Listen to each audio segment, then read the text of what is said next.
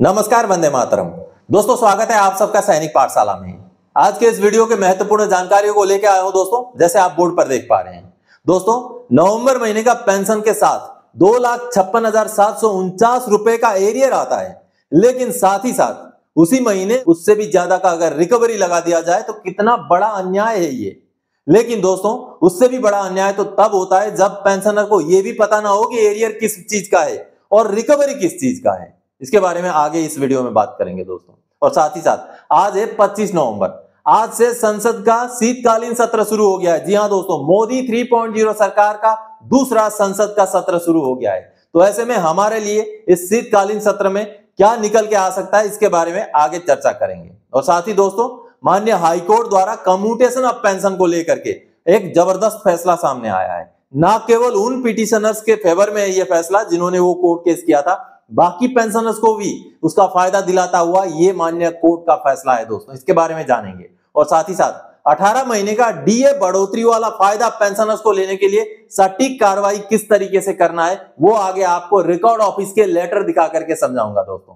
तो आगे बढ़ेंगे, इन्हीं विषयों को लेकर के आज के इस वीडियो में। आगे बढ़ने से पहले दोस्तों, मेरा हमेशा की तरह आप सबसे आग्रह है, अगर सैनिक पाठशाला चैनल का वीडियो आप पहली बार देख रहे हैं या अभी तक चैनल को सब्सक्राइब नहीं किया है तो चैनल के साथ जुड़े रहने के लिए, आपसे जुड़ी हुई ऑथेंटिक भरोसेमंद जानकारियों को पाते रहने के लिए चैनल को सब्सक्राइब ज़रूर करें दोस्तों। चलिए, आगे बढ़ते हैं। सबसे पहली जानकारी, संसद का शीतकालीन सत्र शुरू हुआ आज से।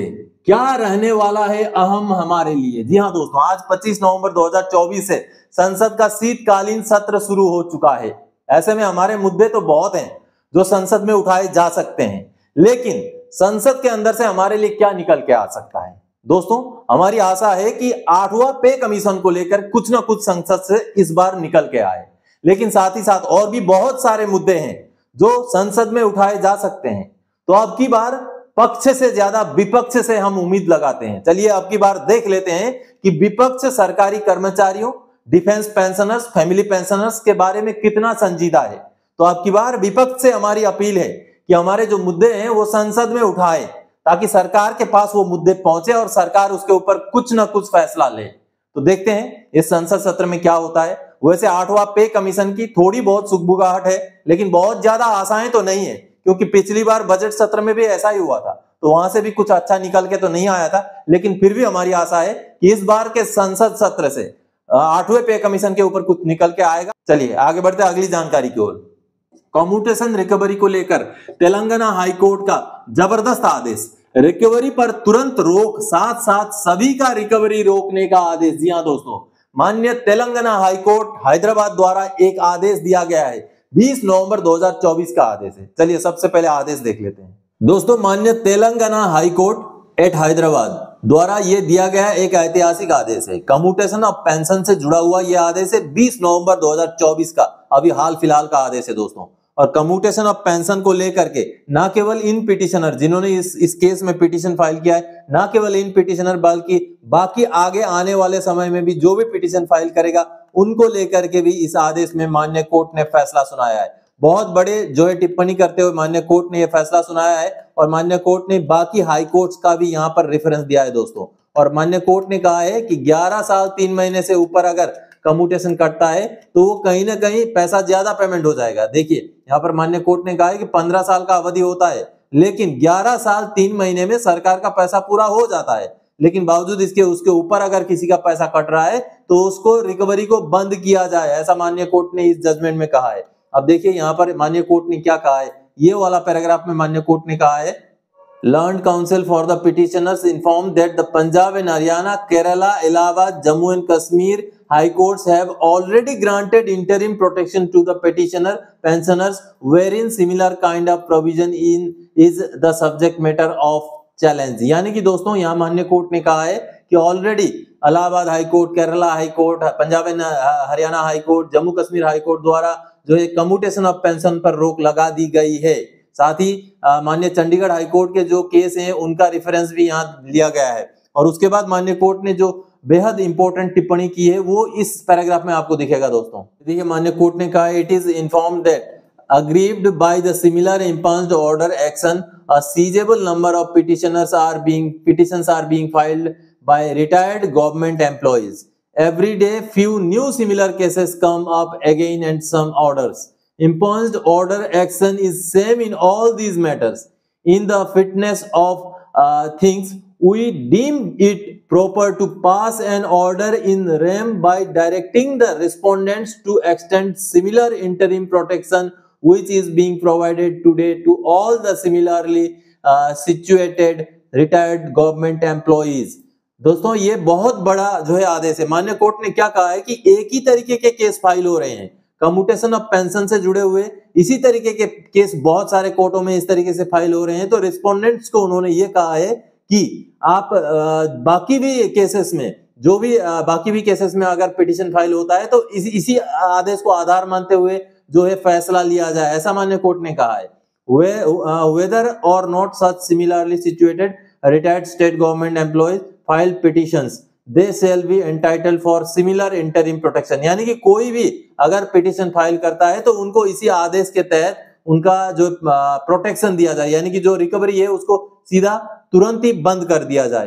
तो ये बहुत महत्वपूर्ण आदेश है दोस्तों, क्योंकि इस आदेश में मान्य कोर्ट ने ना केवल इस इस के, इस केस के पिटिशनर बल्कि बाकी जो भी आगे आने वाले समय में पिटिशन फ़ाइल करता है, मान्य तेलंगाना हाईकोर्ट में तो उनके लिए भी ये जो है आदेश काम करेगा। ऐसा इस कोर्ट के आदेश में मान्य कोर्ट ने फैसला दिया है दोस्तों। तो चलिए, आगे बढ़ते हैं, अगली जानकारी की ओर। 18 महीने के दौरान रोके गए डीए का फ़ायदा लेने के लिए सटीक कार्रवाई का सही नमूना देखें। जी हाँ दोस्तों। दोस्तों 18 महीने के दौरान जो डीए की बढ़ोतरी हुई थी उसका जो फ़ायदा पेंशनर को मिलना है, उसके लिए उन्होंने क्या कार्रवाई करना है? जो ग्रेचुइटी और लिव इनकेसमेंट में जो बढ़ोतरी मिलना है, उसकी बात कर रहा हूँ। तो दोस्तों रिकॉर्ड ऑफ़िस के अंदर कई सारे सेक्शंस होते हैं, कई सारे ग्रुप्स होते हैं अलग अलग ग्रुप अलग अलग सेक्शन अलग अलग काम करते हैं। तो इसकी जानकारी आपको सैनिक पाठशाला से ही मिलेगी दोस्तों। तो आपका जो ग्रेचुइटी का पैसा है, वो आपको दिलाने वाला सेक्शन अलग है।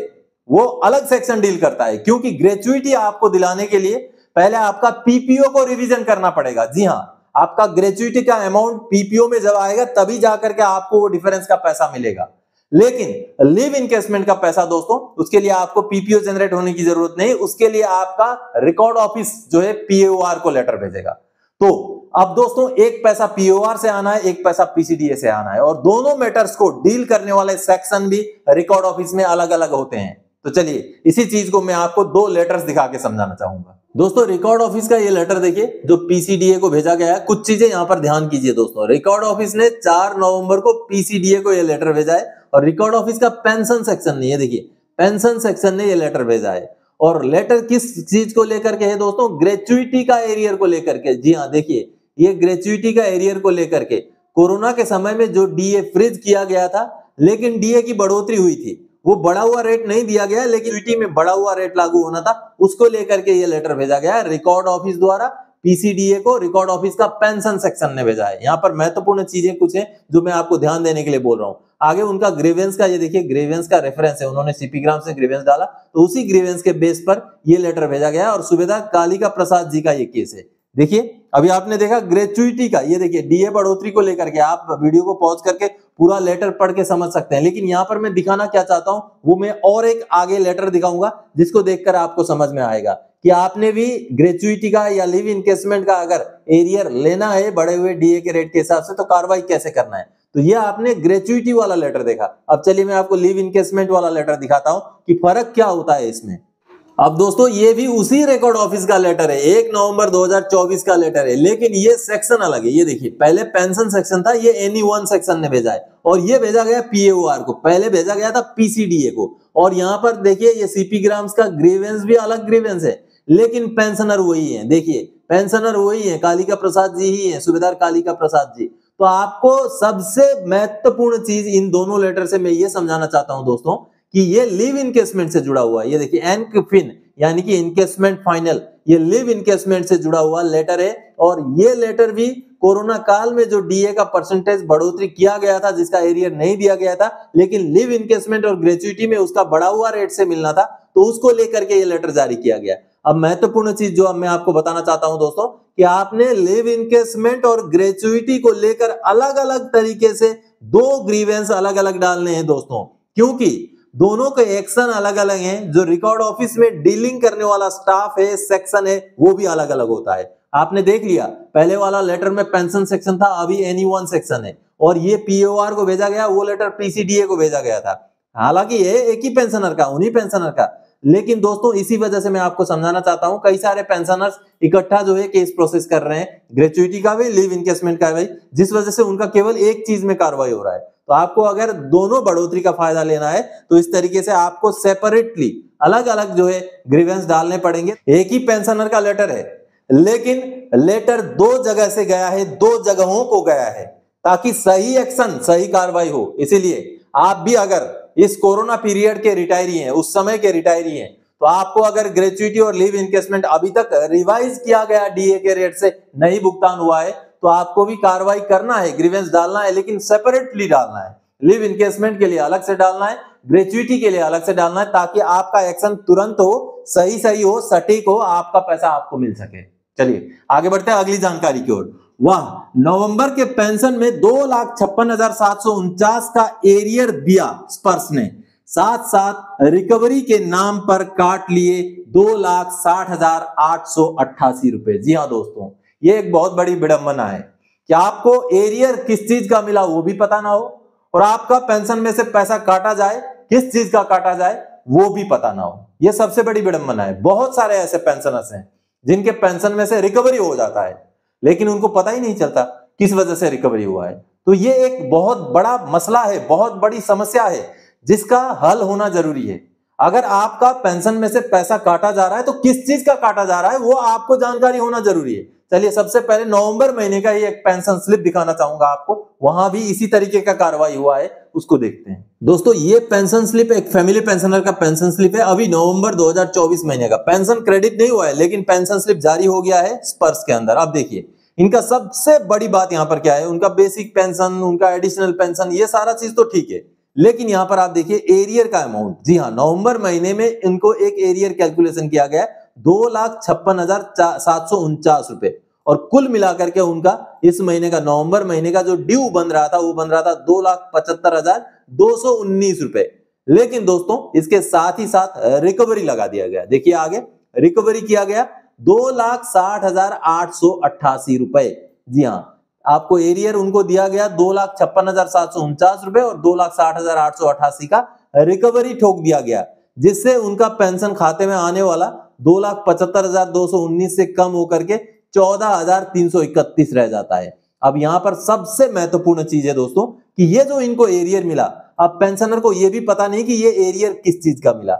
और उससे भी बड़ी बात है, ये भी पता नहीं कि उनका ये कटौती जो रिकवरी किया गया, ये किस वजह से किया गया। तो आप सबने देखा, अब स्पर्श में ऐसा मैकेनिज्म बनाना पड़ेगा कि एरियर, जिस महीने भी आप एरियर दे रहे उसी महीने एरियर का कैलकुलेशन सीट भी दिया जाए। और अगर आपने किसी महीने में रिकवरी लगाया है तो उस रिकवरी का भी ब्यौरा दिया जाए रिकवरी का भी डिटेल्स दिया जाए, ताकि पेंशनर को कम से कम ये पता चले, भाई, पैसा किस चीज़ का मिला और कटा है तो किस चीज़ का कटा है? ये बहुत ज़्यादा इंपॉर्टेंट है, क्योंकि पेंशनर का पैसा है, उनको किस चीज़ का मिला, किस चीज़ का कटा, ये भी जानकारी ना मिल पाए तो इससे बड़ी विडंबना और क्या हो सकती है? तो हमारी गुजारिश है, स्पर्श का टेक्निकल टीम जो भी है, जो भी स्पर्श में सुधार करना है, उसमें सुधार किया जाए और जो भी एरियर दिया जाता है या जो भी रिकवरी किया जाता है, उसका ब्यौरा पेंशनर्स को तुरंत मिले। वैसे तो रिकवरी इलीगल है। मान्य कोर्ट के भी आदेश हैं रिकवरी इलीगल है।